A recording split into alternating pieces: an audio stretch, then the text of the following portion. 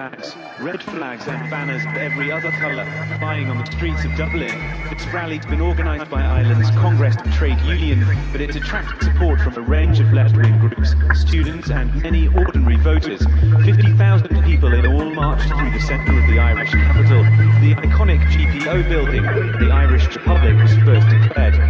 Faces of some of the martyrs of the country's independence movement looked on, the symbolism clear. Opponents say the Irish government sacrificed the country's independence to dig itself out of financial crisis.